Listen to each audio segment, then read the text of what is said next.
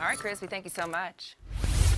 Now to a story you'll only see here on Fox Carolina. An associate biology professor at Wofford College is taking his skills overseas in a once-in-a-lifetime opportunity. Yeah, Fox Carolina's Christy Wade is joining us now. And Christy, you're taking us on a journey under the sea for this one.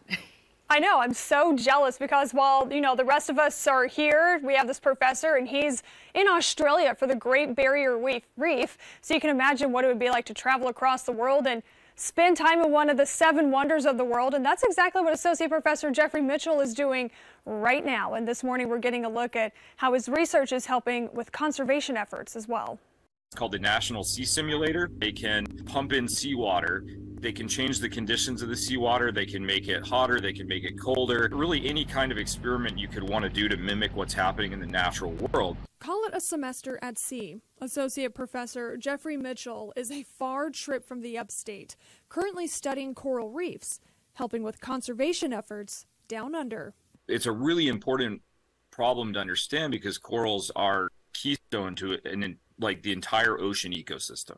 People just need to be a little more aware maybe of, of things that they're using like plastic. So there's a lot of plastic waste in the ocean right now. We eat uh, fish. We rely on fish that spend part of their life cycle on these coral reefs. We depend on coral reefs for, for tourism. We depend on coral reefs for protecting our shores. Dr. Mitchell tells me within the last five decades, tropical coral reefs have declined by more than 50 percent what's happening with global warming um, and other uh, pollution and other kinds of, of threats is that these uh, corals, for reasons unknown to us, they're basically throwing away like their food source. So you go out on the reef and you notice that there are a lot of really unhealthy corals. You just know that's not the way that ecosystem is supposed to be. What's left is just like the skeleton. I have a little piece of coral here. Um, you know, maybe with a little bit of coral tissue left, they're really not um, healthy anymore. But here at the Australian Institute of Marine Science, Mitchell and other biologists simulate the ocean's changing conditions, hoping to breathe life back into damaged reefs. The group that I'm working with out here has sort of developed an algae strain that is is resistant to this bleaching process.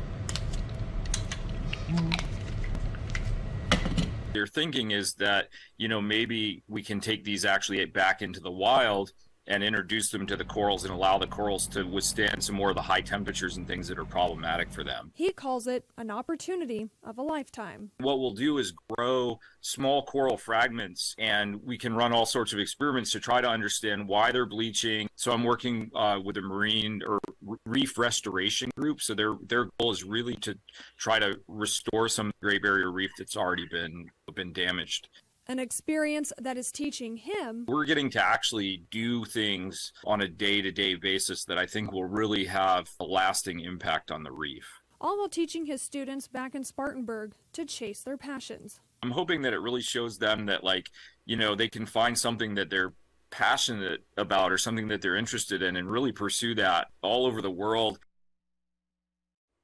Well, this was made possible by Wofford College, who allows their professors to do a sabbatical. And while Dr. Jeff says he's soaking up every single minute of this experience, he's really excited to get back to the classroom and show his classmates what he's learned.